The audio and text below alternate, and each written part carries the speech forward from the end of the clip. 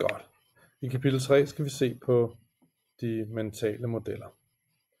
Og øhm, det, det der jo ligesom er, er, er forudsætningen, øh, hvis, man skal, hvis man skal være motiveret til at dykke ned under vandet i den her model, øh, det er jo, at man jo er optaget af øh, at lede efter det, som man ikke umiddelbart kan se, når man kigger på det. Øhm, og øh, vi stiller os selv nogle spørgsmål, og den analyse, vi laver, er baseret på spørgsmål omkring, øh, hvordan kan man også forstå det. Mentale modeller i den her forståelse. Øh,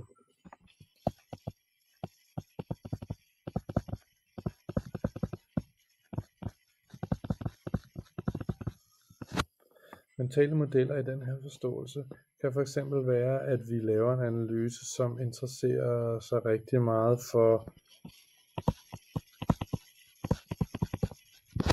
Hvilke vaner øh, har jeg?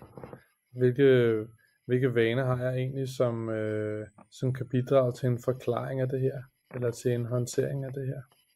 Øh, hvis nu det, der var sket, den hændelse, der var, det event, der, der, der, der skete, det var et eller andet, som vi ikke bryder os om, eller en årsagssammenhæng, eller en reaktion, som vi ikke bryder os om. Hvad er det så for nogle vaner, vi har, som gør, at, øh, at det kommer til at ske? At det er det, som er det naturlige?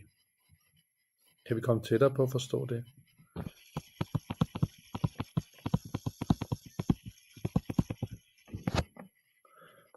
Følelser. Hvilke følelser har vi i den her situation? Hvad er det, vi, øh, hvad er det egentlig, vi føler? Hvad er det egentlig, andre føler? I spørgsmålsmodellen vil jo, vil jo rigtig gerne først og fremmest være mega nysgerrig på hinanden og undersøge, øh, hvad, foregår der inde i, inde, hvad foregår der egentlig inde i de andre. Så hvilke følelser er der i spil her?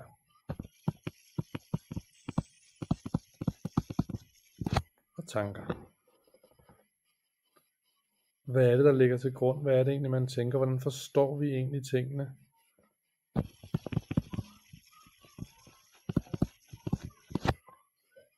Og de handlinger, der er, øh, som vi ser ske, hvordan hænger det egentlig sammen? Hvordan hænger det egentlig sammen med den forståelse, vi har af, af det, der er? Det er, øh, det er super centralt, at, at, øh, at vi kan fortælle om, hvad er det for nogle mentale modeller, vi har, fordi de er alle sammen forskellige. Vores mentale modeller er alle sammen forskellige, og hvis vi skal blive klogere på at forstå, hvad der sker i verden omkring os, så skal vi tale om, hvilke mentale modeller vi har. Så det er, øh, det er helt centralt i en forståelse af, hvad var det egentlig, der afstedkom det her. Godt.